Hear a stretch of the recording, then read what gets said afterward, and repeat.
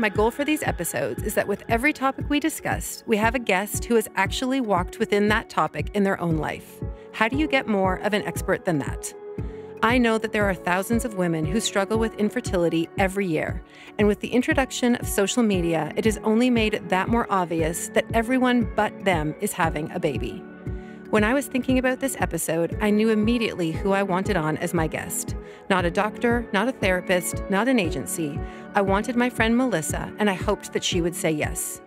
Her and her husband Matt struggle on their journey to becoming parents. Years of highs and lows, hope and disappointment, all make up her story and what I believe so many of you will relate to. I even learned things about her story that I didn't know. We go into all the details about infertility, pregnancy loss, and failed adoptions. There is a happy ending to their story, but the road there was the one that honestly could have been made into a movie. I hope you enjoy listening as much as I did, and if you know anyone struggling with infertility right now, I would encourage you to share this with them. Without further ado, let's get to it. Here's my conversation with my friend, Melissa Wilson. Well, welcome to the podcast, Melissa Wilson. I'm so excited to have you here today. I'm going to introduce you uh, before we get started. So, Melissa and I have been friends, I don't even know what year, how long? I don't even know what year. 10 years, maybe? Probably. Nine, nine or 10 years. It's been a while. It's been a while. Um, and I really, really wanted to do an episode on infertility and adoption. And when I thought, how am I going to approach this? Uh, I've never been someone who's been through adoption.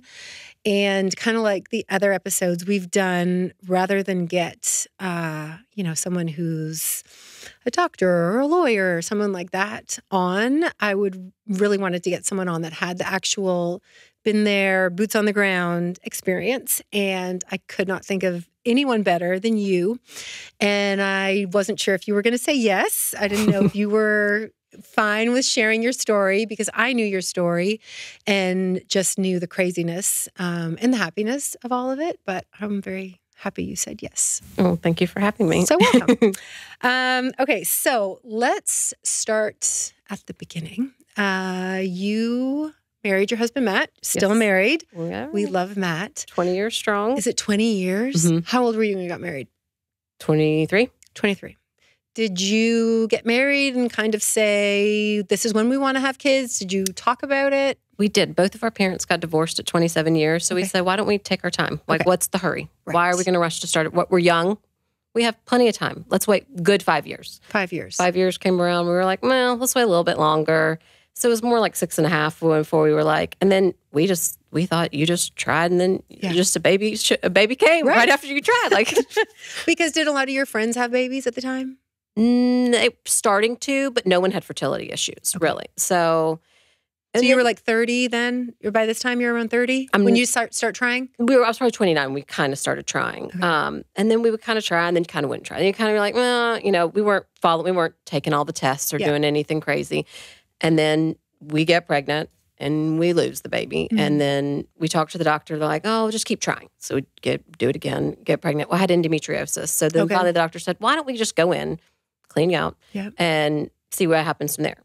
Said, "Wait a couple weeks after the surgery, end up pregnant again." another miscarriage. So then we could see specialists and we start, you know, diving in a little bit deeper and then we just totally stop getting pregnant. Like it just doesn't happen anymore. We Mm. were like, hmm, okay. So we finally got to the point where it's like, okay, well, let's go to Nashville Fertility and let's just go see what they have to say. We're not Yeah. committing, we are not committing to doing this. I'm not even sure I want to do drugs at Mm-hmm. this point. And they were like, well, let's let's try you on something. Since it's been this long, let's try Clomid. So we tried Clomid. What's Clomid? it's a it helps helps you get pregnant. It's one of those fertility drugs that makes you kind of crazy. Okay. Like it just it messes with your emotions. It, I think it's, it's a hormone. it's a hormone. Yes. Is it So- to like make you ovulate more or do you even know? no, I don't know. They give it, it's popular for fertility. It's the first drug they'll always give you. Okay. Clomid is like the number one thing they're going to give you. They don't tell you to take vitamins or minerals. They're like, here's some Clomid. Okay. Clomid doesn't work. Well, then the next step is an IUI where they just basically when you're when you are ovulating, hmm and at this point you've taken some Clomid, or there's also another one that you can take as well. But Clomid was fine for me, so I kept taking Clomid. So when you're ovulating, they just your husband comes in, leaves a sample, Yeah. and they basically take a syringe and they while you're ovulating they give you an IUI. So this is like artif- is that like artificial insemination? Is that No, the same? I mean, I guess it's a version of it, but Okay. it's they're not. They okay. Let me revise. When they with an IUI, they actually they take the sperm and they spin it, and they only give you his good sperm. Gotcha. They don't give you the junk. So you only get good stuff. Okay. So we had four of those, and they never took. And then they Mm. said, "Okay, it's time." Well, Had you been tested? Had like, do they do testing on? You They- hear about people getting tested you to get see your if there's something going on. yes. In mine, they kept saying unexplained, like because Right. my egg reserve was low, but it wasn't like they were like, "This is nothing." Yeah. like crazy. Matt would get tested. They were like, "Well, his sperm is fine," so Yeah. it's not really making sense. So they said, "Let's do IVF." Well, then I said, "We're gonna have to take a break. We've been doing all Mm. this stuff for months. I mentally need, you know, you, you know, it's hard because you're having to drive to Nashville, you know, two and three times a week. You know, to Did you tell people you were doing this? you had I had no choice but to tell my boss because I was missing Mm. so much. Like you're missing so much work. Because of appointments? appointments. do you feel physically fine or is it taking a toll? It takes a The toll you. Clomid. Okay. because it also takes a toll on your marriage because you're also you're trying you're trying to time everything. Like I got to go to the doctor these days. I've got to make sure we're getting the medicine these days. Mhm. You, if you have to take shots, you know it it's it's a lot. And you guys had just been like these newlyweds for six years. Oh yeah, we weren't with- even worried. yeah. and I mean, and this was I was in my 30s when we really started hardcore because even once you get your appointment, it takes a while to get in. Mm. You know, I want to say it took us three months to get our first appointment at Nashville Fertility. Mhm. When those three months, you kind of also talk. You're like, oh, we're going to be fine. Yeah. we're going to be. I mean, because I we didn't know anybody that was having Right. issues getting pregnant. I mean, we really did not know anybody having Mm-hmm. These issues, but we also didn't tell everybody. But at this point, everybody you see when you having babies, when you having Mm. babies, when you having I always babies. wonder. wh- I mean, you must more than anybody just that question from people. It's just such a question. People always. When no one wants to see you cry when you answer that question, you just say, "Oh, one day we're just enjoying life." I can remember saying that every single You day to people. One day we're just enjoying what we're doing. Did right you ever just break down and say, "Well, we're actually behind a door. No, I never said it to anybody else's. No, Mm. I mean, like my sister would know, of Yeah. course, but um, no, you don't. You don't. You don't want to put your burden on other people. Yeah. I mean, looking back, maybe you should have, but I, I don't know. I don't know. But once uh, we'd had a couple rounds of, we would, we finally started with the IVF, and every time they'd be like, "There's only one egg." Well, you don't really want to retrieve one egg because the likelihood of that egg being a good egg, and then mm-hmm. by the time that they they fertilize that, the embryo like. They all, they said the goal was six. They were like, let's let's get you six eggs because fifty percent of those eggs aren't going to be viable eggs. And are you taking medicine to try to get more eggs at this time? Yes, before you're for the retrieval? yourself. Oh yeah, Okay. and there's another element to that. When you're doing IVF, you have to get refrigerated drugs. So you've got to be. So you're worried about appointments. You're Mhm. trying to keep a job. You're trying to stay sane, and then you're trying to find the FedEx truck with your refrigerated drugs. oh my gosh. you know that you got to get into a refrigerator, and you know you know FedEx's window is going to Yeah. be like eight to twelve. So well, then you send them to your work because you're like, well, I got to get them there. So you would have FedEx coming to your job. I had to because I had to get the shots. Wow. So you know, and you have to get them in a refrigerator like as soon. I mean, they come in an ice pack, but you still you don't want to leave them out. Yeah. Like syringes? Is that Yeah. what you're you're Mhm. injecting yourself? Okay. Yeah, you're injecting yourself. Um, and then you will here's another level. You have to take what's called an IVF class. Mhm. I mean, Matt and I we Why do you have to take what's the, the class for? to learn how to give yourself the Oh, shot because you have to mix medicines Oh. and you have to make sure you click at this mo you know this number of times. Yeah. Like I mean, IVF is stressful. Like Yeah. I'm surprised the success rate is so high because you're just so stressed. Now, That if people don't just stop and give up. Yeah. Well, I mean, that's what we essentially we Yeah. would do it. Like we would, I would tell Matt, I'm like, okay, there's only one egg. We're obviously they're telling us not to do this. They're the professionals. We need to listen to what they're saying. Mhm. So let's stop. But but I'd be like, Matt, I need I need a couple months off. Like I cannot put any more drugs in this body. So when they're saying you only have one, does that mean then we need to start another cycle?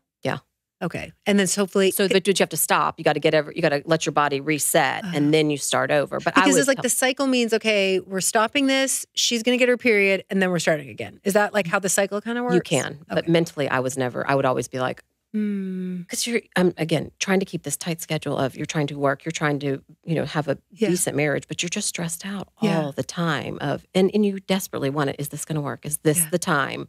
And is it all you're talking about at home? Yes, Because you really don't have really anyone else to talk to unless you've shared it with people. right. And we didn't really share with people because it's our burden, Yeah. you know. And I'm me saying yes to this was very much a surprise because I am Mm. mostly quiet about things. Yeah. So there's also, I mean, you know, we met working out. Yep. When you're doing IVF, you can't work out, Mm. and that's Why can you not work out? uh, you're on all these drugs and you don't want your um, ovaries to flip. So Oh. if you're bouncing, so you could go for a walk, but you know our workout was not yeah, going you can't for be doing a lot. Yeah. yeah. you couldn't do Yeah. that. So and you know that, keeps you mentally. Does this? This might be a stupid question, but like, did Matt have to do anything for IVF? Is that a like? Does he have to take anything? There's no drugs that the men take. men don't. Okay, I mean, it's I mean, I- solely on women. well, because for his, you, yeah, for his sperm count was fine though. So Okay. maybe if his sperm count wasn't fine, there would be something they would do. But his sperm count was always fine. okay. So, but I, I bet there is surely nowadays. I, would- I have no idea. All right. I haven't heard of it, but maybe.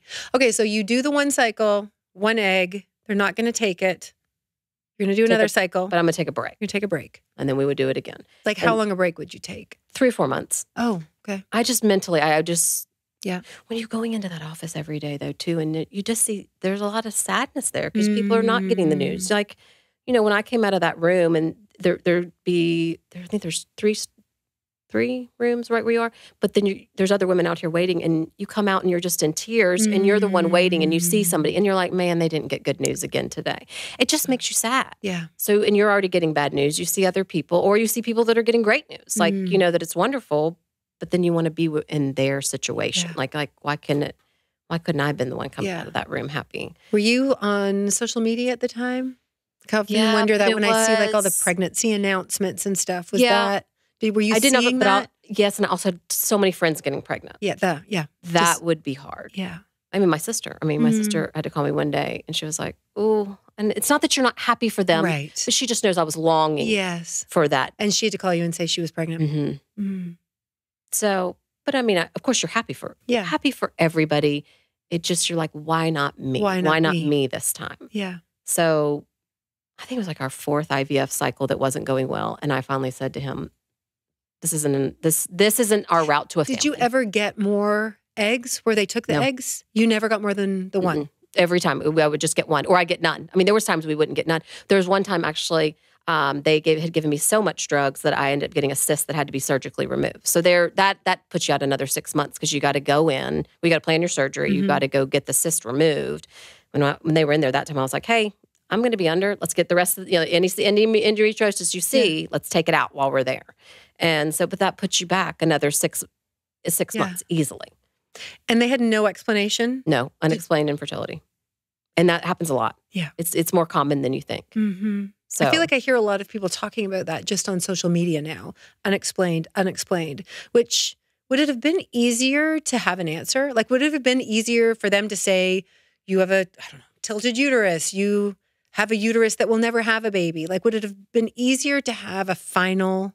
yes, because then you would have moved on to what is your next step, or are you going to be okay with Mhm. that? I mean, so many people are great without having kids. That Yeah.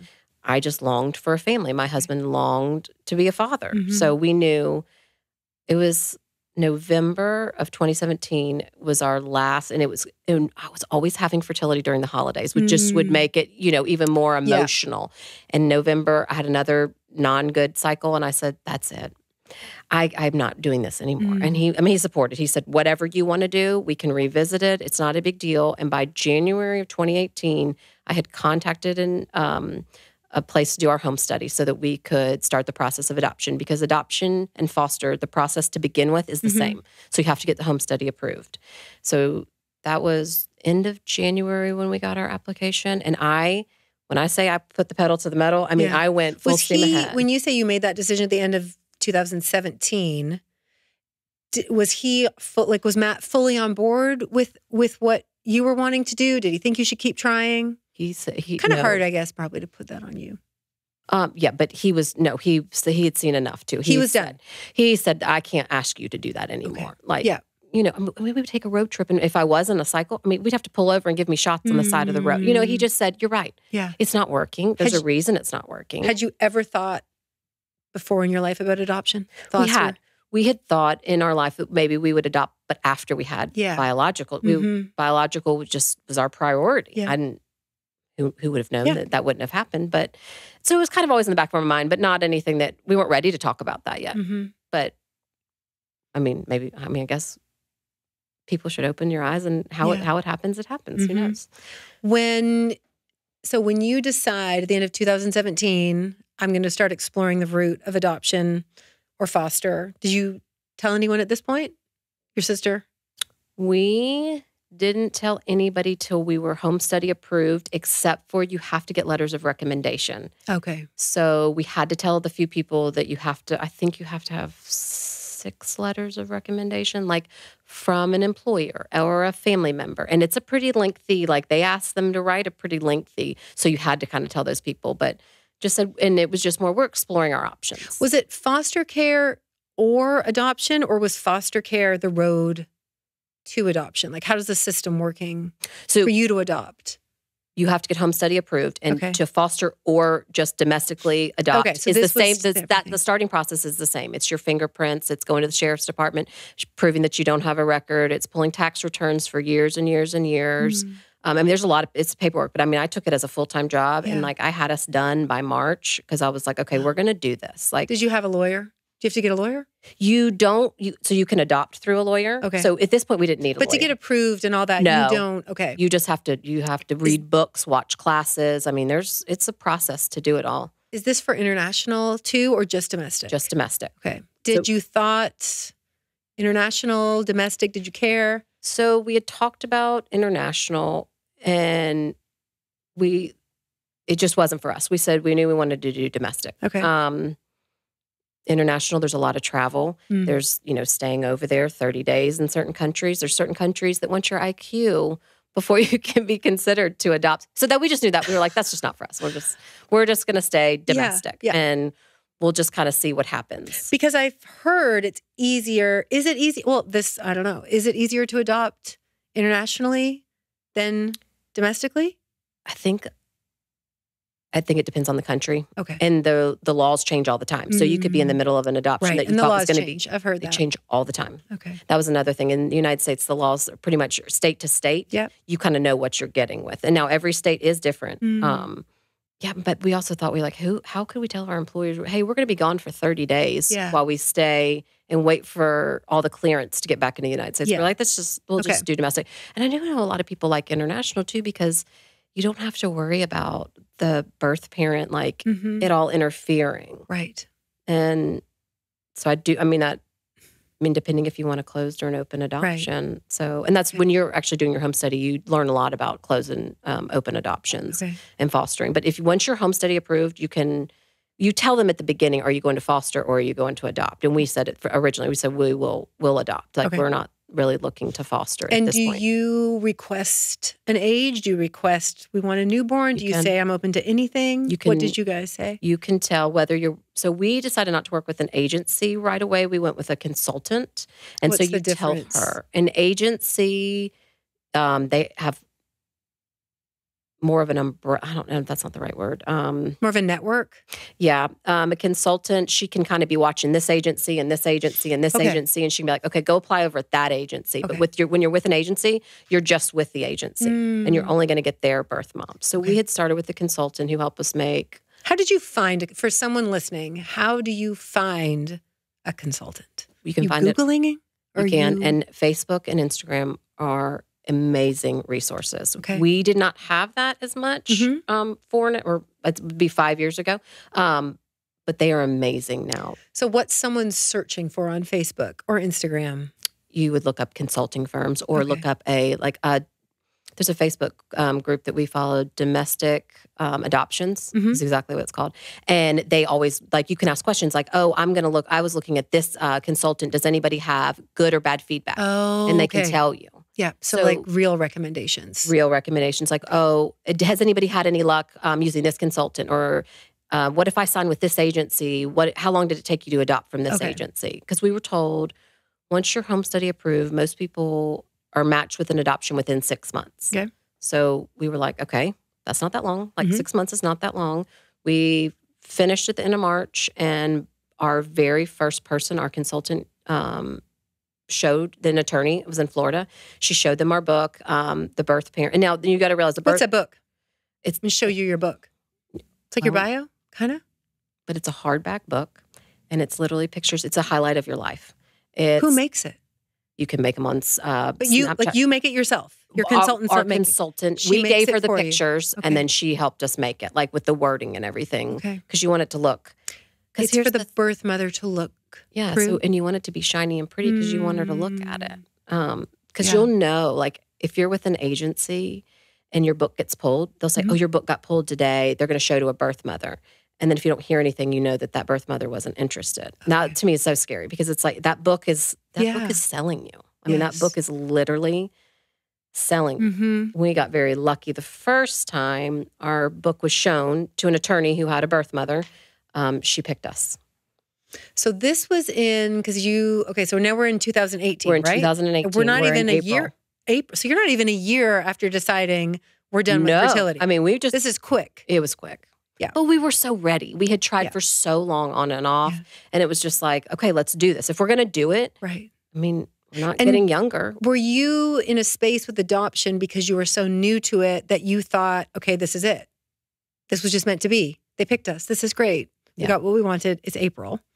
So you get a call from your consultant saying, She, there's a there's a situation. Well, most of the time we would text and email. She said there's a situation in Florida with this attorney.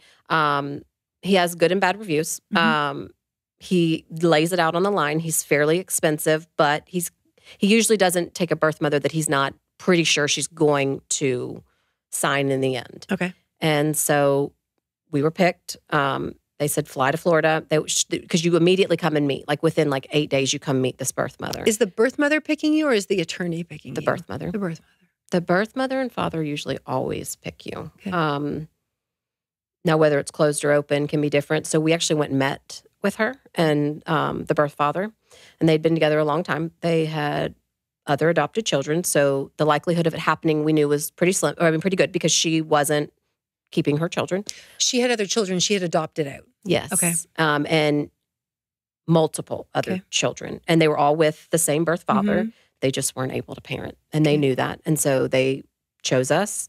We go home, have contact with her, text with her, you know. How far along is she at this point? She's 24, 25 weeks. She's pretty she's pretty good Yeah. along. Um, and we get a call two weeks later that there had been an accident and the baby was no longer. Hmm. We didn't i mean and to us you know like i i mean we thought here's our it's finally we've been through we've Yeah. been through everything and here we finally Mhm. got what we, we thought we would got and then the attorney said i don't know that in my years this has ever happened the hard part is you lose so much money in Mhm. these situations because he's in, the attorney's invested his time so you have Mhm. all his billable hours all the drug testing the mental testing he does because he wants So you're sure still paying this attorney even though there's no baby? Well you gave a retainer and the retainer is non-refundable Okay. because Wow. it's all the work he's put in. Because he's he's he's been working with her for weeks. Right. I mean, do I agree? Not necessarily, Yeah. but I He did put in the work. he and put in the work, and he no told you up front, so you knew up front Okay. what you were signing when you signed the piece of paper. But in a million years, could you imagine No. That the baby was no longer? What kind of, do you even know what kind of accident? Like, Her and her brother Car- got in a physical altercation. oh, wow. So, um, Are you, you said how long, how long had you known her when you like two up? weeks, not long. Yeah. But enough in my mind. I But was you're so invested. desperate. I You're was invested. Yes, and I was so desperate Yes. for what I thought she was giving us. Right. I mean, it, it. I'm sure to a person who's not is not doing this, it doesn't sound sane, and I understand that. I actually think it sounds sane, and I've not done it. I mean, I can just from being pregnant. You're pregnant for, and there's women that lose babies like you Yeah. know to you Or- like miscarriages. You've never met them. You've maybe even never heard a heartbeat. You just know, and you can't believe how connected you are yes. to something that never was. So I don't think it sounds I mean, crazy I left work at all. when he called. I mean, I Matt like dropped everything too, came and picked me up because I was like, I can't drive. Like, I cannot. I can't believe Mm. with what we've been through that this is happening again. Yeah. And I also knew the financial burden it was going to put Mm. on our family. We've just been through, you know, IVF is not covered by most people's insurance. Yeah. So we'd already spent a good bit of money on all that. And I was like, I cannot even believe that this is happening. So our consultant was like, okay, we're not going to give up, right? And I was like, okay, let's let's keep going. We'll figure we'll figure out how we're going to make all this work because I mean it was it was a large chunk of money that Mhm. we had invested with that. And at no point the lawyer is like, I'll help you find someone new. I'll cut you a break. It was just done. It was just done. It's just done. And there's nothing you can do about it. No, I'll, I'll I'm going to come back to Okay. him though. Okay. He's going to enter my life Okay. again All right. Okay. in at a point. Okay. Um, so then the consultant on her own has a birth mother that has come to her specifically. Is so, this in Florida still? still in Florida. Okay. Florida has easier laws with Mhm. adoption. Um, In what sense? less wait time for the Okay. mothers to sign because you have to make sure the mothers aren't on any like if they had an epidural Okay. When- on drugs, like mind altering. Yep. Okay. Anything that's mind altering before they sign your wait time um, it's called icpc when you wait for like basically the attorneys all to talk to the states all you know all the judges Mhm. to say okay everything's clear you can leave their their laws are just easier Okay. i don't i don't know why that there's certain states i think texas um, florida and then maybe arizona or utah somewhere like that Okay. just seems to be easier states to Yeah. adopt in so she's like well i've got this birth mother and she tells us she's 14 or 15 weeks So sorry, how long after? three weeks This- to a month not okay, long Quick. I So mean, we're it still was in quick. 2018. Oh yeah, we're still in 2018, and she says she's she tells she was 13 or 14, somewhere around along those lines, The pregnant. m- The the, birth mother. okay. She said, "I'm pretty sure this is going to happen. Um, she doesn't have the means to keep the child. Mhm. Um, she's in and out of jail. Um, hindsight, you should never match with the birth mother that early. You should wait till towards the end because that was a very very long pregnancy because she was not she wasn't that far along when she told." The consultant. She How was more like, was she? I bet she was nine to 10 weeks. Wow. So we fly down and we meet her, and things seem great. I plan another trip to come back when she's going to have another doctor's appointment. And she has picked you though.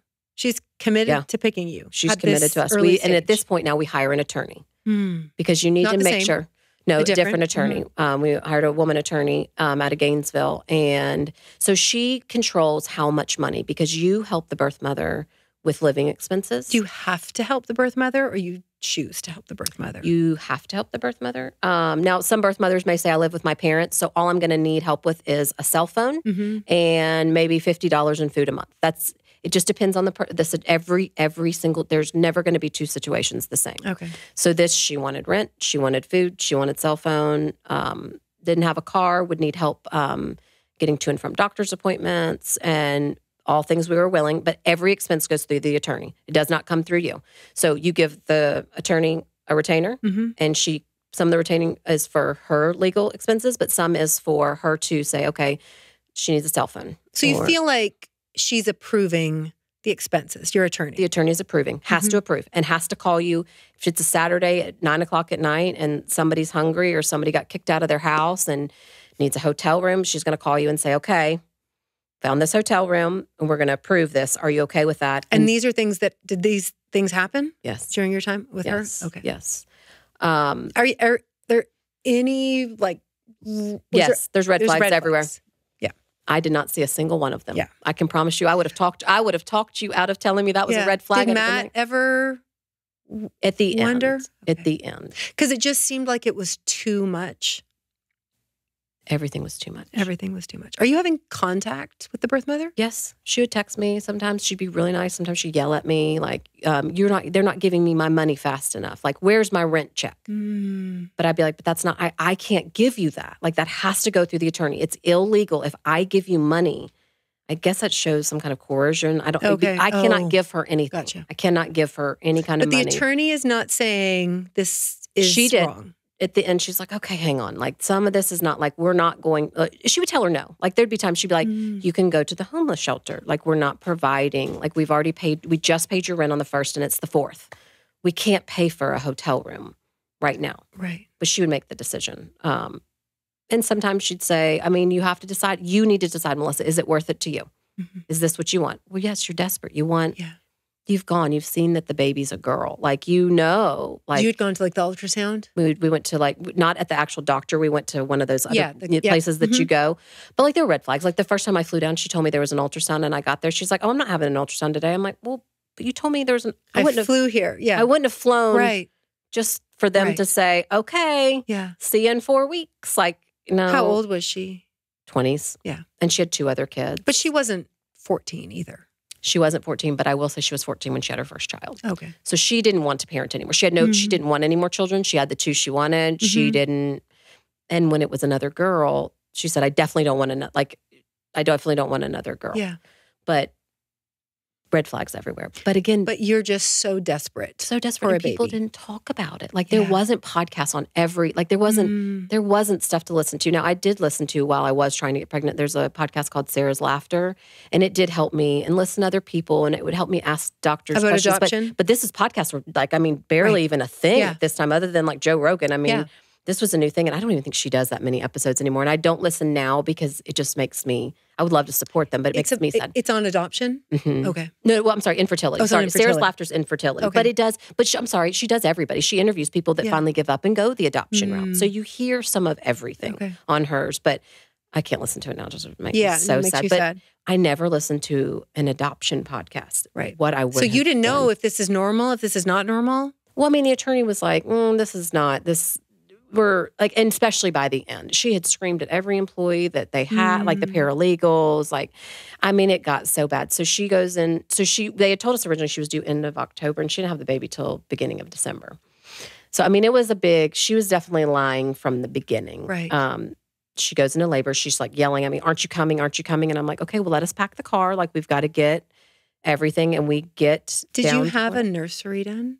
You know, I didn't. I didn't. Okay. I was. No, I- my room was clean and ready to go, Mhm. but I didn't have a crib. Okay. I didn't have any of that stuff. There was a few baby items in there, but it was things like friends had given us. Right. But it was nothing like I had not done a nursery. Yeah. I, I'd read you don't want to do it because every time you walk past the door, it's just a constant reminder that it's empty. Yeah. So I had that's the one piece of advice that I Yeah. did listen to was don't don't, do do, a nursery. Okay. So we get there and she just loses her mind and her mother shows up She's in labor. she's had the baby She's by the had the time we get there because it's we had to drive down Yeah. there and it took a while to get down there and basically within four hours of us arriving we got the call she's not placing Do you not go to the hospital? You don't go to the hospital. not until they let you you have to be told by your attorney that it okay it's time you can go in there um, and at this point i had i had talked to her the morning of the birth like she was like you're coming right i was like yes we're just let us we're getting in the car we're Yeah. packing the car like we'll be there shortly and it wasn't i mean a few hours after we got there that they were so like, you're just waiting at the hotel room, thinking Mhm. you're getting a call to go to the hospital. Yes. To meet We're ready. We have a car your seat. baby. We have a car seat. We have clothes. Like we are Mhm. ready. We don't have a nursery ready, but you know, we have the car Mhm. seat, the pack and play. Like we're ready to go. And it was a no. And what did she? What? What's the? I mean, I can't even imagine too the attorney making that call. But did she have a Um, reason Well, let me revise. That came through as a text message.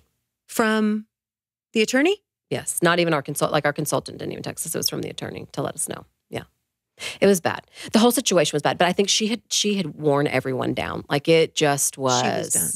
The attorney, I think too. Like and she just said she's not played. That was the text message. Yes, and we did not hear from our consultant again at that point. Um, So what? When you get that message, I mean, does it sink in right away? Are you like, this is a mistake? If only I could just talk to her.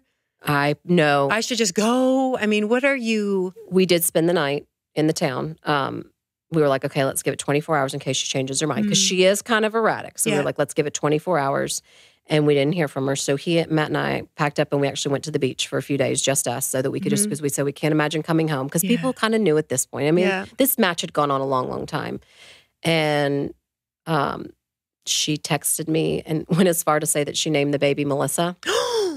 And at that point, I I, forgot about that. And I at that point is when I blo- I blocked her I and I turned my phone off. out of my memory. Well, because you know she didn't. She was just reaching for straws. And at that point, Matt and I had made the decision. Even if she did change her mind, we weren't the. We were not. So what, when she first texted you, the birth mother, what did she say?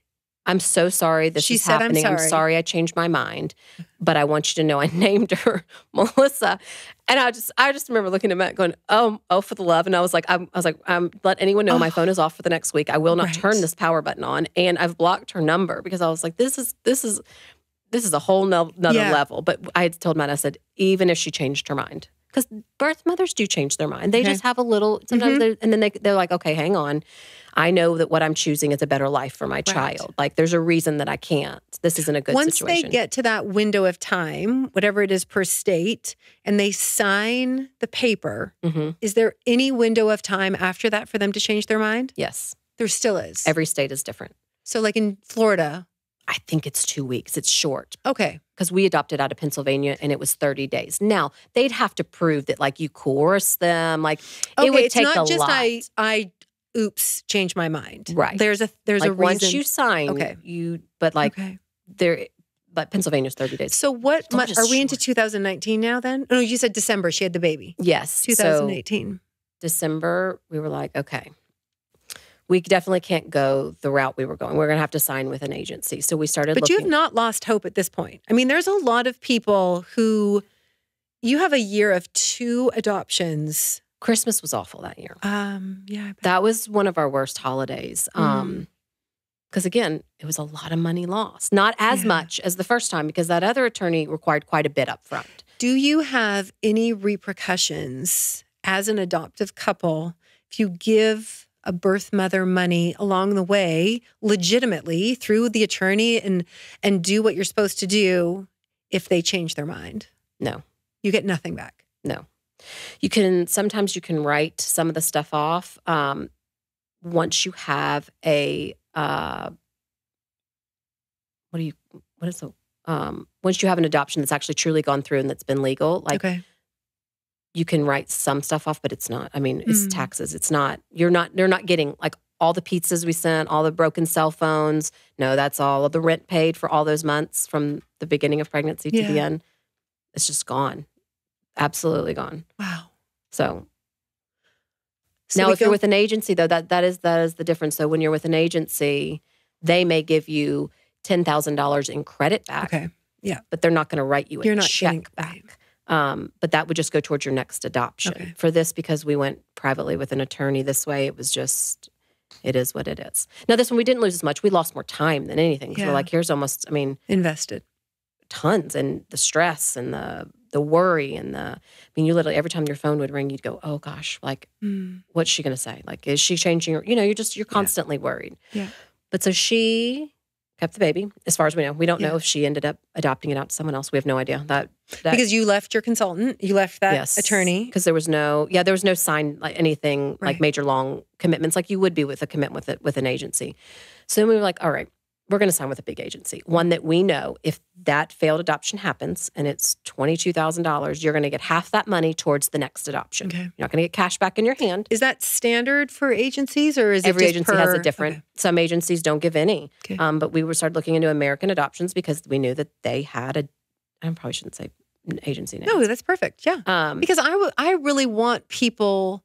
I think you and I were talking about that before. Like, and even you just saying, like, back when I was going through all this, I didn't know where to look. I I didn't, didn't know, know, where to begin. I didn't know who to Google. I didn't know. I mean, this is a this is your life you're talking about. So, um, Wouldn't you say in the last like maybe eight to ten years, adoption's really been more beautiful? Like it's been more. It's to- celebrated. it is. It used Yeah. to be such a stigma. Like oh, you're adopted. Like your, your parents didn't want you. Know your parents probably did want you, but they wanted you to have a better life. A better life. Yeah. They they knew they couldn't provide for you. I mean, imagine like a 16 year old having to make that decision. No. That's such a mature decision, but no, knowing that at 16 you're still a baby. Like you're not ready mm-hmm. to do it, and especially if you don't have the family to help The you to back you up. parents. I mean, yeah. I mean, and, or even if it's just your friends to support you. I mean, Yeah. it it's such a big decision. So we started looking at an agency, and out of nowhere, we somehow got connected with an attorney in California. I don't even know how we found this guy, and he ends up with another situation for us. Really, he's like, "Okay, I've got one for you. She and her husband are estranged. Um, she's pregnant. It's another man's baby." And he goes, "The only hiccup is she lives with her aunt, and her aunt is not supportive of this. Well, you really want the families to be supportive, Of them adopting. giving the baby out. Right. Yes, Mhm. she's not. She's not supportive. So that was really our only red flag. We went met her In She was- California. um, the attorney was in California. She Oh. was in Georgia. Right. So you can be an attorney in a far. Okay, I hit yeah. this in a far different state? Yeah. Um, and still represent other people. Like I bet um, they never met, other than like a Facetime call. They would have never met. Like how she found him, I don't Yeah. even know. But we meet her because she's just in Georgia, so that's not far for us. Um, see a few red flags, but nothing major. She has two other kids um, with her husband. She believes this baby is the other man's. She does nothing. She's not begging for cell phone money. Like she's really not asking a lot. And again, this attorney, he's like, I I will give you this amount back if it doesn't go through. Mm. But I feel confident it will. But she is putting the baby up for adoption Yes. because she believes it's the father is the man she had the affair with. Yes. And she has two children with her husband. yes. Okay. Um, and he knows she's pregnant. Um, The husband? Yes, and she's told him, "I it's not yours. It's not your baby, Nope. and I'm giving the baby up for Yep. adoption. And there, other than the, other than who she live, who she was living with, not being supportive, only red flag we ever had. Mhm. I mean, she was not. It was it was really easy and it was short. Like she was very far along. She was gonna have the baby not long.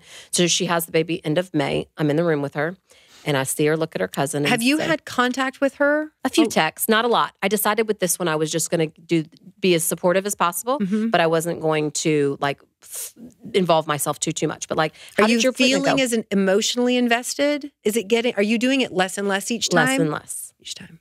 And so she says, I want you to be at the hospital, but I want you in the delivery room. I'm like, great. I don't know if I want to see that anyway. Right, yeah. Like, I'm not really sure. and this hospital's real weird. So, like, you're literally birthing and, like, in the suite outside, like, it, like, you can hear what's happening in the Right. room. Like, it's where you wait. It's very, very strange. So, this is the Tuesday after Memorial Day, and she's induced. And she, very last minute, her cousin opens the door, says, She wants you to be in here when the baby's born. And I was like, Oh my goodness, I wasn't expecting that. Yeah. So I walk in there, and but as soon as the baby comes out, I see her look to her cousin and say, "It's the husband's." I, obviously, there was something. Some somehow she knew That it was not the man. it was not the man she had, had the the affair with, and so um, she had me stay with her with the baby that night. Matt had a hotel room because But did she say like other than it's the husband's baby? she didn't say it to me. I heard it.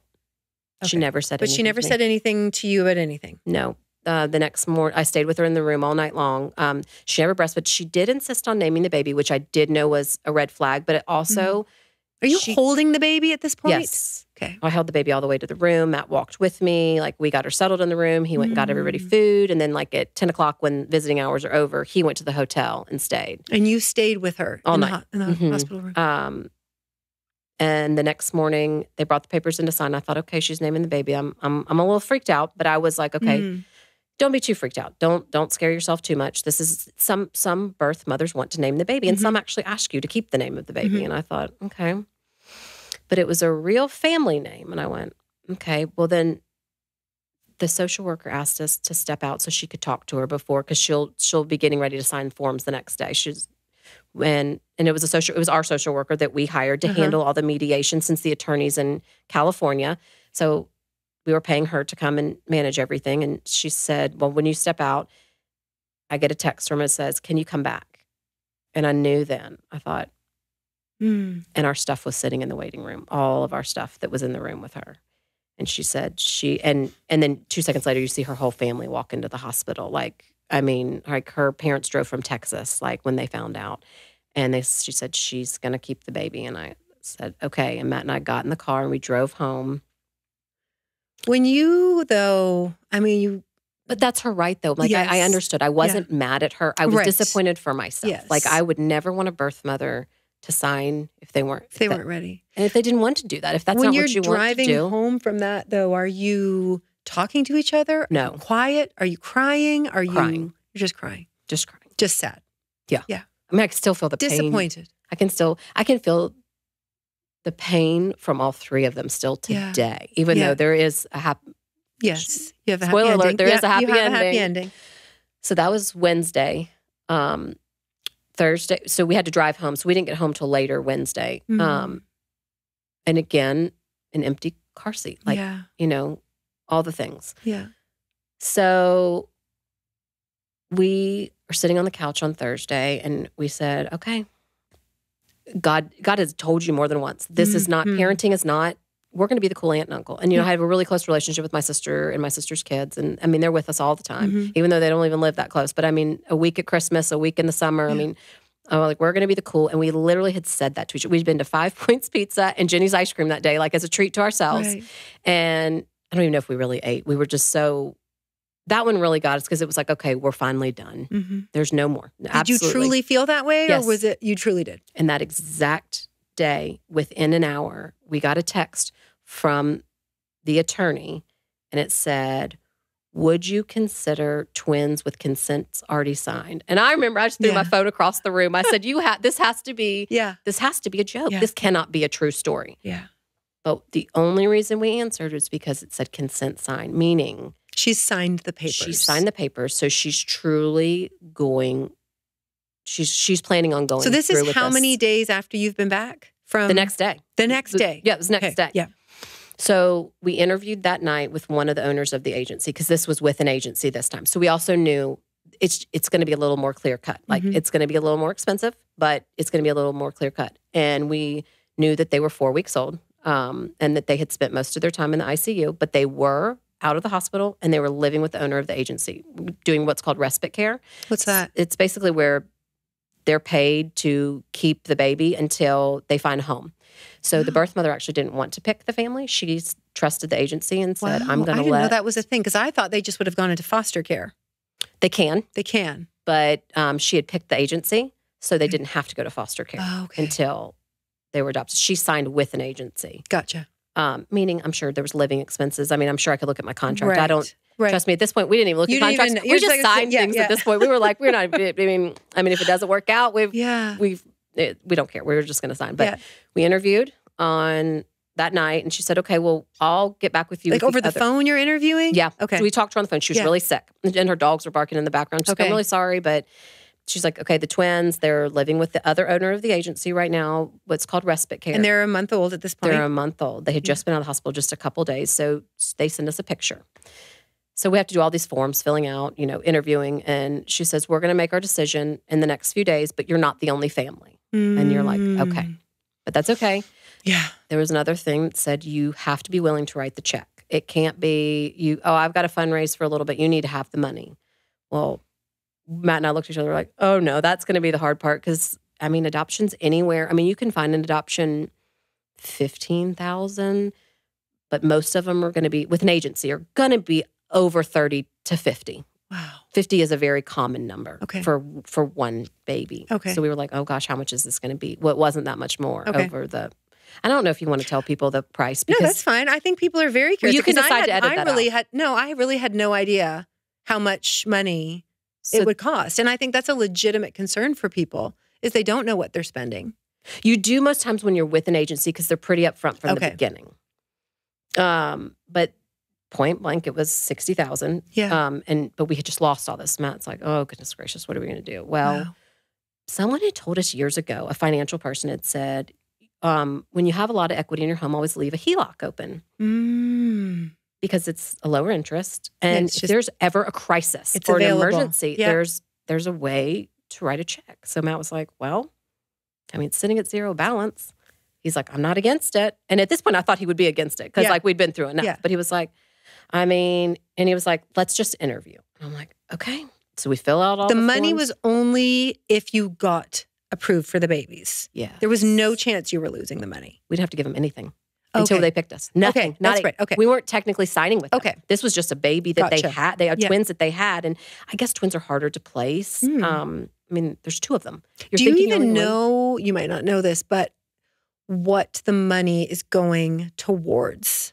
Well, a lot's going towards agency. There's The medical bills. A lot Okay. of times the state will cover medical bills, but Mhm. it's also living expenses, counseling. Um, lots, especially with big agencies, counseling is a huge thing. They for want the birth mothers? they want the birth mothers Okay. counseled during pregnancy, after pregnancy. Okay. Um, there's also, I mean, for years and years, for me with this agency, I sent updates. Mm, yeah. So, Yeah. Um, Okay. but mind you, we interview, we get picked. We don't tell a soul. I know you didn't tell us. we all. literally did not tell. I we didn't tell our parents. Well, you didn't even tell your parents. We told not a soul. The person that was not your sister No. Wow. We did not tell my sister. because you just were so used to being disappointed. and disappointing other, like I felt like Yeah. everyone had pity on us. I felt like Right. everybody felt so sorry for us. And again, Mm. until those papers were signed, like by us included, I was like, I don't want to, but we, but we were picked. Um, we we fly up to Pennsylvania. We literally, I mean, even the person keeping our dog said, "Wait, why is your car in the garage? if you're just if Matt just took you away for a night or two? oh, you said you just Matt took you away. yeah." Because at this point, we knew once we told someone else, we could get a dog sitter, like a permanent dog sitter. But we just asked a neighbor out of the blue Uh-huh. to keep the dog for another Tybo girl, actually, Yep. that lived around the corner. And um, so we get up there and we meet them, and they're like, "Okay, but Is this like you said Wednesday? Are you we are now on Thursday? it was a full week from being Oh, it was a full week. Okay. from being from all the interviews, Yeah. being picked, and getting a plane ticket. so they did pick no, you. Wednesday to Friday. So because we flew Friday. So when did you find out you got picked after the interview? Monday or Tuesday. Okay. I was it was Monday because I was in Chattanooga because I was doing stuff with my nieces. I actually was interviewing at the pool. I was like, "Y'all just play over there. Don't oh. worry about what I'm on the phone call doing." And Wow. so no, tu- the Monday we interviewed on the phone. Tuesday they called us to say we were picked because I was driving home Tuesday, and we flew Friday because we had we had that party Thursday. Do you still have reservations at this point? You've been picked. You've you've paid. You know she signed the paperwork. Are you flying there still thinking? Well, we knew This that there was happen? still the waiting period was still there, Okay. so we knew we had till the 24th of June. So how many weeks was that after? So that was June 4th or 5th that we met them. So not long. It Okay. wasn't a long, like, A couple it- weeks. yeah, because she had signed the paperwork. Do you have to wait there, or you can bring the babies? No, home? you can bring the babies home. Okay. Now, some people choose not. Some people actually Yeah. choose not to actually even come in contact with the baby till the waiting period's Mm. over. That's where respite care comes in. Yes. People, Okay. you can pay people to because you don't want to. so you could have left them there, Yeah, we just, you care. just pay. You Yeah. just pay for care, but that but wasn't you chose. yeah. We're doing it. because we knew. I mean, they said. I mean, it would literally have to be that she would have to say like we coerced her into signing. Okay, it's not that she just changed her mind. Right, She would have to no. prove you did something wrong, that you weren't Yes, worthy And again, she didn't pick us. So, Right. and this is a closed adoption. it's a closed adoption. So we are home and very. We had told some of y'all at this point, but we were like, Yeah. we're not really telling the world. So don't say anything till June Mhm. 25th. Like June 25th, we can talk about it. We. This is where the first attorney in Florida comes back. Mm. The girl's pregnant again and wants to be sure Matt and I get the baby. The first girl. First girl. He reaches out to you after says- you've just brought home the twins, but you're still waiting. we're waiting. But we said no. I mean, we knew. Yeah. We just knew. There was just something different that we just knew. I didn't walk around on eggshells all those days. Yeah. Um, no, we didn't go anywhere. They were preemie too, so we didn't want to go anywhere Right. with germs and everything. Um, but yeah, he he reached back out and he said, "Well, I'm glad that your story had a happy ending after all of that." But Mm. she wasn't even going to interview other mothers. She was like, "This will be her baby." wow. hmm Was there any part of you that ever thought, okay, I'll take her too? No. I'll take this baby. No. No, You there were- was two. I was already. two. I was So you're like, home with twins mhm. and you're just, are you in those, in the waiting part, are you full on bonding or are you still kind of doing it from arm's length? No, You are in. I'm in. You're in. I'm in. I've dreamed of this my whole life. Yeah. I. I Does it like I- even seem real? Like, are you and No. Matt staring at each other, like waiting for someone to knock at the door and take them out? Yes. Yeah. We still to this day. Yeah. Wow. I mean, I remember our first. So with adopting, you have a caseworker come in or a social worker come in, and Mhm. they check on you to make sure because they, have, you know, they come in the beginning to make sure your house is safe and Yeah. all that. And she even came. We still didn't even have cribs for them. They were still sleeping in pack and play. She's like, I don't care. They have a safe place to sleep. Yeah. Like I don't even care. And I was like, I'm so sorry, but like, we just didn't get to that. I'm sorry, but we have twins. Yeah, and it, well, when we just hadn't gotten to the crib part. yet. yeah. I think because I think she came maybe a week after we got home. Like it wasn't long, Right. and they're so little. They're sleeping by our beds at this point. Yeah. You know, but I remember. Uh, okay, so then on number three, I guess when you went to Georgia, Yeah. you had been at our lake house, yes, and you left the lake house to go to Georgia, yes, and we all knew you were going yes, for the birth. yes. And then I remember when it didn't happen, hmm and we were all like on a group text, like a couples group text. I think I even sent pictures of Yeah, Matt you- and I walking down the hallway. You did, yeah. But it was Matt then. We knew you had come home. You were sad. It had not worked out. And all of us at the same time get a text on the group text from your husband. And it's a photo of you holding two little babies. Yeah. And he said something like, Whatever he said, it didn't sound like they were ours. no, like it was it it was very much like no one knew what to say. Like no one knew how to respond because it wasn't like, "Hey guys, great news." Like I I don't I should have looked back at what the text was. I don't remember, but it wasn't because they were so close together. It didn't make any sense. it wasn't clear because 5 days prior, 6 Yeah. 7 days prior, we just thought that this had happened to you. And I remember I think someone said like, "Who's that?" no, I think everyone said, "Who's who's are this?" My, Who's my sister even said, "She goes, oh, congrats to whoever got twins." I said, Yeah. "They're ours." Like, Yeah. wait, wait, what do you mean? And everyone's like, "Wait, what?" because it was so that's why we didn't tell anybody Right. until it happened Yeah. because it needed to be real it needed to be for sure it Yeah. needed to be there was little to no chance that this wasn't Yes. Yeah. So when the time came, when the two weeks or the time passed, are you like taking a deep breath? We opened a bottle of champagne at midnight. You did. Or it was 11 our time because Yeah. it's midnight there Yeah. because it had, was in Pennsylvania. Um, we did. We opened a bottle of champagne um, and we celebrated. And you did. You took a deep breath. You said, okay. But then you start the next process, which was, was really making it legal, getting them your last name because that's Okay, another so six that's a months. whole- okay. That's another six months. And that's a different attorney. Like you hire attorney to do that part. Mm. So But in, even during that time, there's no risk that this is not working out. At this point, it's just we had legalities. never gotten a message, nothing. yeah. So, Wow. and it was closed. So she wasn't asking questions. so what's the Um, difference between closed and open? Because I feel like people hear that a lot and don't maybe So- know what that is. I'll be honest, this is something I think people should um, know how Matt and I turned our tune so much. So when we started it, we thought we definitely want closed, meaning there's no contact. Mm. They can't contact the children. They can't, they, they know nothing. Like you Mm. can't contact me, I'm not contacting you. Um, as we have opened our hearts to adoption, we think, well, how cruel is like, let's say Mm. cruel. I understand there are situations where children should not be privy, Right. but if they ever could, like I Mhm. would want Emma and Ellie to know where they came from Mhm. um, I would love, and I, we've told our agency anytime she wants to open it, as long as she's in a healthy spot, Mhm. I'm we're good with that. Because wouldn't you rather be the one to help guide a healthy Has the mother chosen the closed? the mother chose the closed. The mother chose the closed. So when you're filing your forms, like with an agency and things, you can tell them, "I want an open or a closed." Um, the birth mother can do drugs or she can't do drugs. Um, Mm. the birth mother can drink alcohol during pregnancy or not. Our thing was we would take um, any baby, Mhm. any color, race, ethnicity. We Mhm. didn't care. We just didn't want the birth mother to drink. Mhm. Um, that seems to be a real big problem Okay. um, with babies. Is actually drugs aren't as bad on you, which is crazy to think. is that we- alcohol. is really bad. Mm. Um, that was our only stipulation. Um, and originally we said closed, and I said let's just always say either, and we'll just we can make a decision at that Yeah. point if we don't like the the way that the open is going to be. But I can I've seen so many beautiful open adoptions now, Mm. especially if any of your followers want to follow um, Brave Love Yeah. on Instagram. Okay.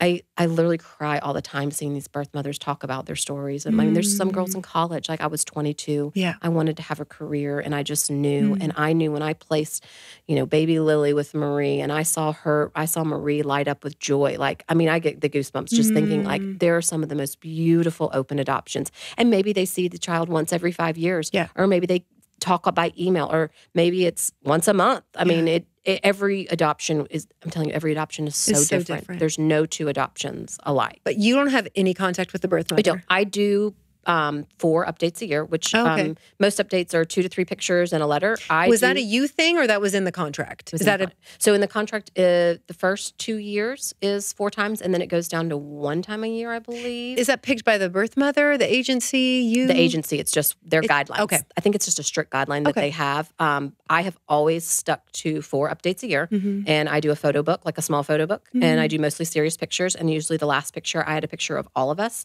So I try not to make it about us being their parents. I try to make the book about how they're thriving and Mm. growing in life. So usually, my last picture will be of all of us because they I love- most of the time they still want to see The family the family that they've placed them into. but I also don't want to hurt her and say, I don't want to rub in anything because we don't. I don't know how she Mm. feels. I, she could think that this is the most beautiful thing ever. I don't know because Yeah. we don't know. You her. don't know that. I don't know her. We know Matt knows all names. I know first names. It's Mm. not. I don't need to know anything Yeah. else. Um, we talk to our girls about it. Do I think they understand? Absolutely not. Yeah. No. I mean, just this week when I was making, I was actually doing the update from their birthday a Mhm. month late, but I'm Yeah, like, it's yeah. life, you know, it's just, and Emma said, no, why are we doing that again? And I said, well, this is for your birth mother. And like, we don't ever So use you, her name. you, but you do use the name, like I the word the term birth mother. okay. birth father. I said, you know, mommy always sends this to them, and I, I show her, and like, and she likes recapping what they've done over Right. the last few months, so it's fun for her. Ellie's all back, you know, coloring on the wall Right. somewhere, like she's just like, yeah, and then she'll even go, but I thought I grew in your tummy. I'm like, no, remember you grew in my heart, and then and right now they're like, no, I want to grow in your tummy, and I'm like, well, we'll Mm. talk about it. We read adoption books. Okay. Um, I think in the next year we'll really grasp it, but Yeah. right now I just feel like we should still talk about it. Yeah. Um, we didn't make a big deal about Birth Mother's Day this year. Um, we we did last year, and they just didn't get it. And this year, we didn't make as big. We talked about it, but it wasn't. Mm-hmm. You know, What's But- birth mother's day? so it's the day before Birth Mother's. I mean, Mother's Day. Sorry. Oh, so I it's didn't the even Saturday know before. that. Mhm. So like we've sent we sent her something the first two years, just a little small something. And do you have any like feedback from the agency if she likes it, got it, No, wants- I've asked. loves the I've pictures? said, let me know if, if I'm lacking. I've even put in her letter to. um, I write it to her, both Yeah. the birth mother and father. I never write it Just just one. I write it to both. Okay. And I've even put, if there's something you're lacking from me, please, please let Yeah. them know. And I'm happy to, you know, like if you want more updates or if Right. you want, I mean, I, I didn't give her an example. I said, if, Yeah. if I'm lacking something in sending you, please let me know. So we And- do, I will say we don't send like where we live. Um, Right. like if I took a picture the other day at recital and I was like, oh, the name of the school's in the background. We should probably not put that picture in there Right. because she's choosing clothes. So I'm not going to, But you don't even know if she knows your identity. So she does not know your identity. Is I would that right? assume that she would know our first and last name, but I don't know. Okay.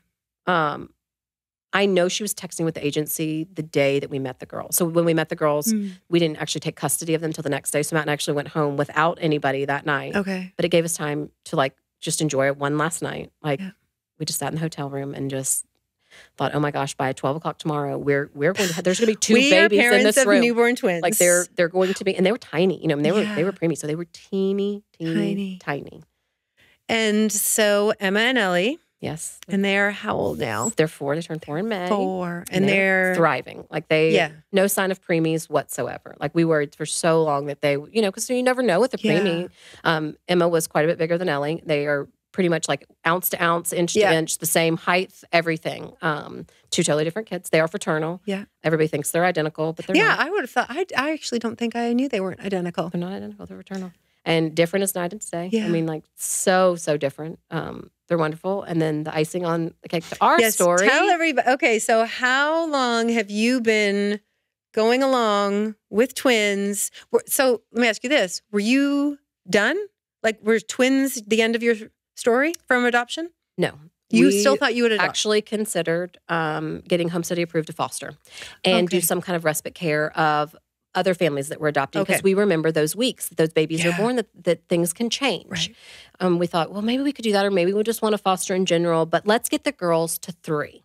We said, let's Mm. wait till three and then we'll make a decision. But let's not close the door completely. We still have one more guest room. Like we could still, we could help, we could help other adoptive families. Right. Because we do know that when Emma and Ellie came home from the hospital for the week that they were with Jessica, so loved. Her Mm. children loved those girls so much. Like it was so Yeah. pretty. Like she would send us pictures, and like our daughter even was at the hotel with us when the day we were leaving. She's like, I just want to see the twins one more time. Like we just knew, It's just the peace of knowing that. like how Yeah. loved. Like this babies that go into foster Yeah. care, not not all of them are going to be loved like that. Mhm. You know, and she was there at the hospital with them every day. Once there was no one else. You know, Wow. once the birth mother was gone. You know, so and they were there three weeks.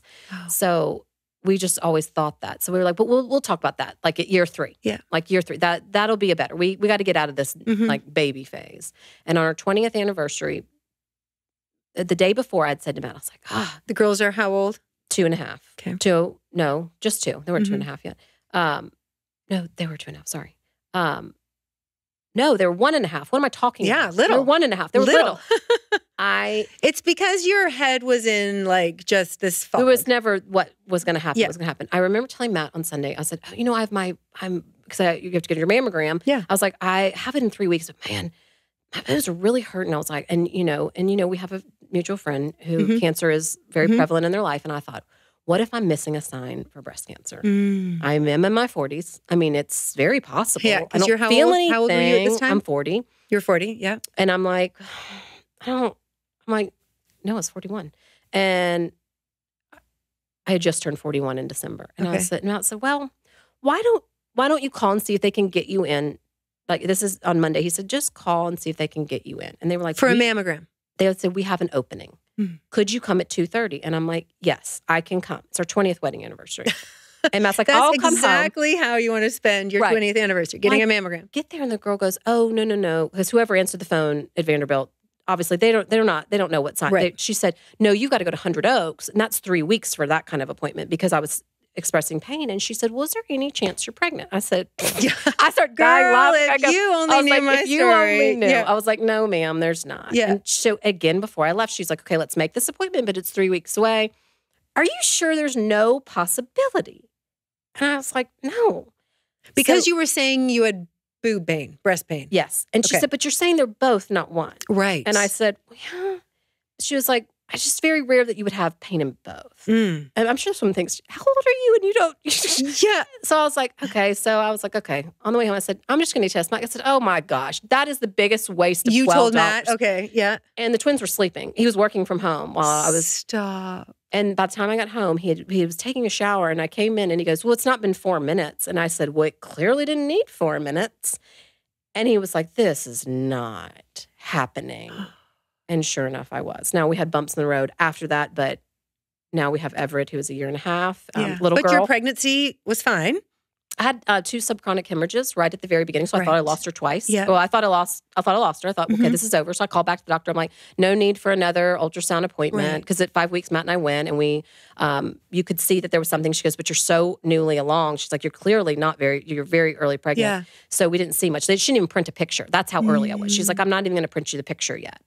So I call back the next week. I'm like, don't worry about the next ultrasound. Um, I've I've miscarried. And she was like, okay, no problem. They didn't even because I'd had them before. They yeah. were like, they weren't whatever." like maybe you should double check. So that was Sunday. Well, Friday it happens again, and I was like. And I was like, "Would you want to go to the emergency room?" I go, "What am I going to do with the emergency room if, say, maybe I only miscarried part, now Yeah. I'm miscarrying the second part? I don't know. I mean, that never happened to Yeah. me before, but that's in my mind. I'm like, no, I'll just call him Monday morning. And he was like, okay. Well, in the meantime, we all come down with this horrible stomach bug. Right. So Monday I called. They're like, okay, we'll just come in Tuesday. But I had the stomach bug Sunday. Matt gets the stomach bug Tuesday. So I'm going to this appointment by myself. He's like, are you sure? I'm like, Matt, you're puking. You can't go with me. What me. do you think you're going to the appointment for? to make sure I didn't need a D&C. Okay.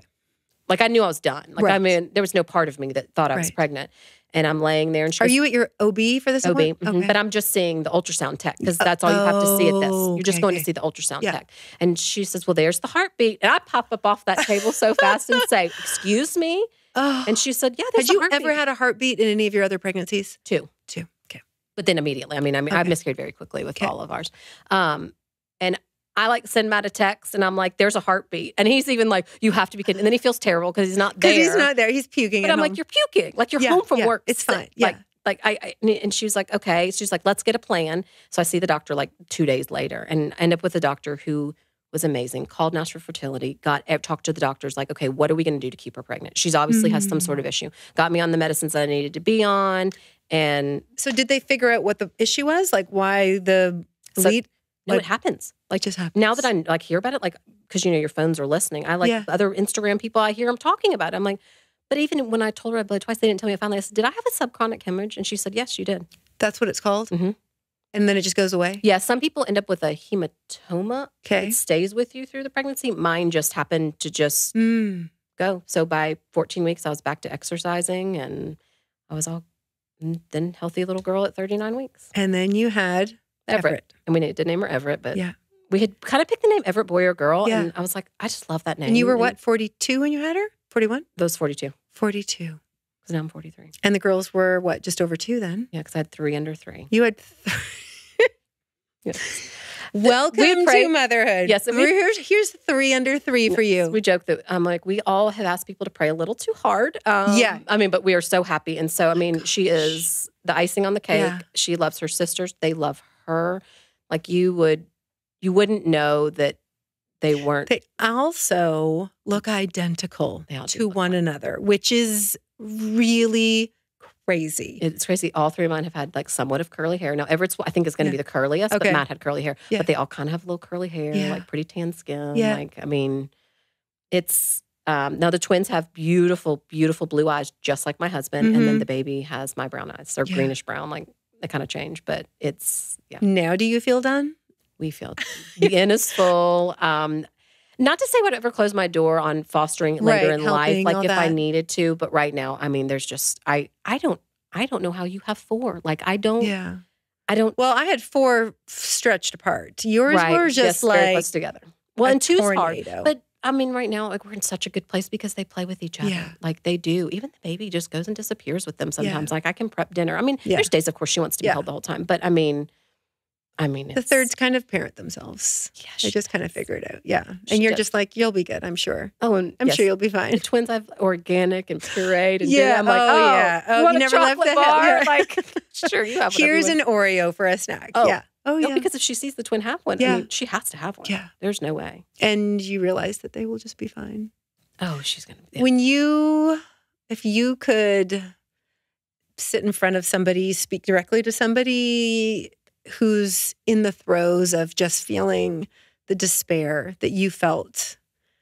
Do you have any advice? This is the one time I can say the internet could be your best friend Mm. because you can find support groups. Okay. Um, I did join a Sarah's Laughter support group. Um, A what? we- it's called the Oh, Sarah's, the Sarah's Laughter. laughter. Okay. They had a support group in Nashville, and I actually did do that in person? Mhm. Oh wow. because Okay. this was so long ago. This Yeah. is, you know, I mean, long, I mean, seven years ago. Yeah. And I did go in person, and I will say, I'm not a support group. I'm not.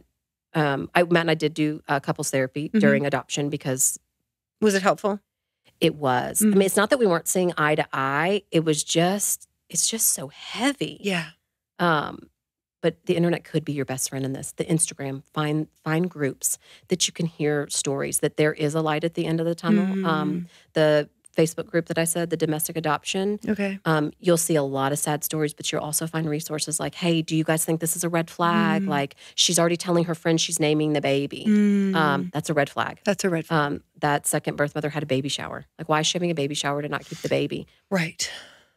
Right. Red flag. Like, um, and sometimes you don't want to see them. I didn't want to see. I, I, I'll be honest. I didn't want to see them. I, I just wanted the end result. I wanted to be a mom. You didn't want to see what? Her red flags. The red flags. Like having a baby shower. Wow, in the world, are you having a baby shower for a baby you're not planning on keeping? And you're posting it Mhm. online.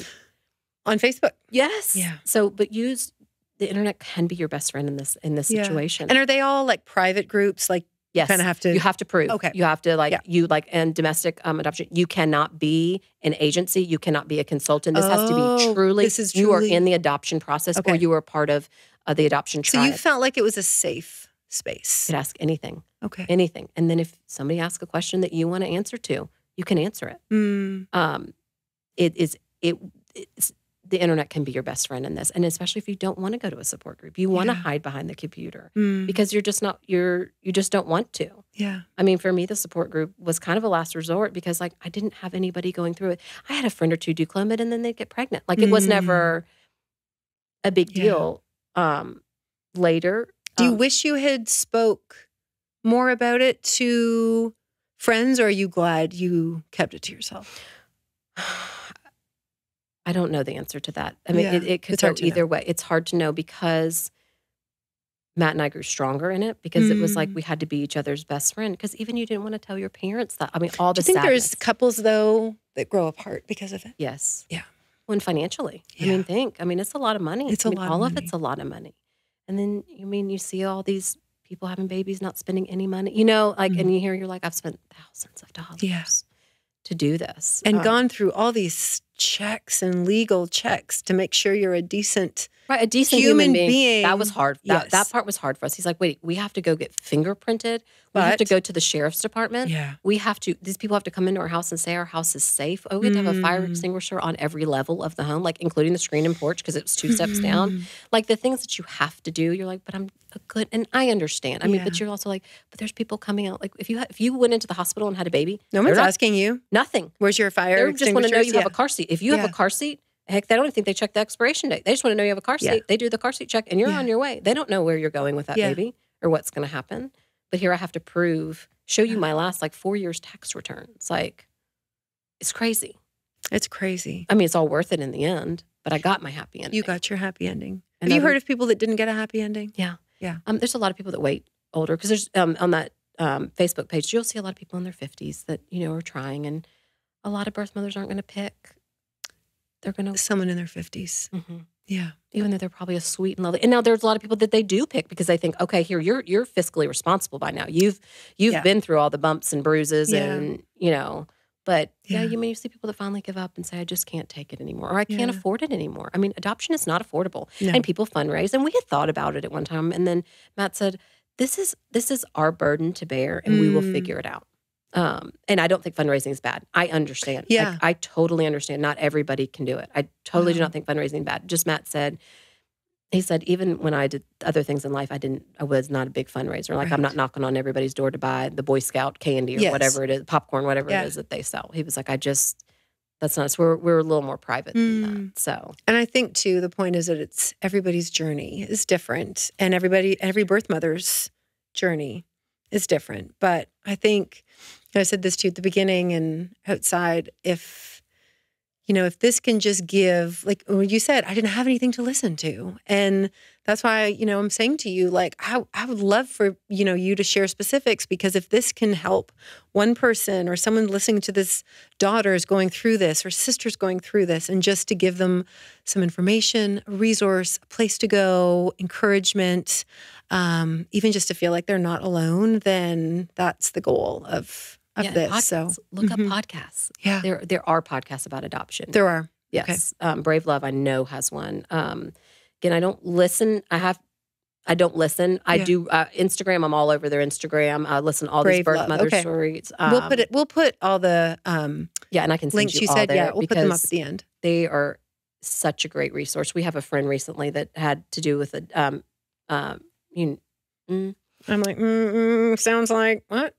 Somebody that gave up a child for adoption, and I gave them all these resources Yes. because I said it will help to see the beauty that can Mm, happen. The, it can be beautiful. Adoption can be beautiful. There are sad stories. I mean, there are sad stories, but the, it can be beautiful. It can be beautiful. and there's hope. yeah. There's hope. Well, I thank you from the bottom of my heart for being here I was and glad I sharing. cry. I thought I was going to lose it. No, no, you're so good. I'm so glad because I know a lot of your story in pieces, but there were it just to hear it from. Can I say one thing? Of course. Something that's been want. said to me a thousand times Yeah. since getting pregnant with Everett is, Mm. oh, I knew it would happen. It is like- Mm, Fingernails on a chalkboard because it doesn't happen for everybody. okay. I mean, and I know that sounds crazy, but every, I mean, people are like, oh, I've just, this, I knew. And I'm like, there are so many people that doesn't. Right. I mean, there's so many people, people that I follow, people that it just doesn't. Adoption is doesn't. adoption is it, and Is that it. is- that that is how they're family, and that's fine. and it's fine. Tell us some things. Let's end with this. Tell us some things not to say to people who don't have kids yet, who you know are in fertility, who you know are in adoption. What do we what what what, what do we say? Don't ask anyone when they're going to have a baby. You Just never know because it could not be that it's fertility. It could be there's marriage is in trouble. Right. It could be the husband works too much and it's not. It could be they just can't afford it right now. Like, Mm. don't ask that question. That question got asked to me, especially once we had entered the being married five years. Like, Mm, well, why? What What's the wait? right. And then once you are in it, you don't want to tell somebody that you just happen to see when you're at work one day that's just an acquaintance because Yeah. it's none of it's Yeah. really none of your business. It's really not. And then with adoption, I don't really know the answer to that because most everything that's been said to us about that's been beautiful. It was more the getting pregnant with The Everett. pregnant- Oh. Um, that every, I mean, and Matt and I both were like, oh, but we know that we know there's so many people that Mm, still long. Like if I was, if if I had adopted in my early 30s, I bet I would have longed still to have another baby. Right. But I knew I was, I turned 40 right after we adopted them, Mhm. like months later. So I knew for me that just, I, I mean, you don't hear of a ton of Yeah. people having babies in their 40s. So that to me just don't, don't, it doesn't, it doesn't happen for Yeah. everyone. So don't, because it happened for me, I feel beyond blessed. Like, I mean, Mhm. God phew, pulled pulled a big Yeah. one for us. Yeah. Um, but as far as adoption, I really don't know if I have anything to say about Okay. adoption. I mean, other than people being negative about closed and open, but right. most people actually don't It's even ask journey. that. Yeah. And I will tell you, we don't tell people. Like, I don't Mm. say, "Oh, my kids are adopted." It's really none of your business, and it's Yeah. not your burden to carry. Like I told you, I'd actually never even told their preschool Yeah. teachers this year. They didn't know till the end of the year when I wrote a thank you note. Right. Um, because it, what is they're just my kids. They're just your kids. And that's what when we were leaving um, Pennsylvania, that's what the agency said. She said, if anyone says anything to you, they're your kids. They're it doesn't kids. matter. Yeah. These you're adopting these children. It doesn't matter Yeah. how you got these children. Like they're they're your kids. Yeah. So Well, I love that. Thank you so much again. Thank I appreciate you. thank you for having Thanks. me.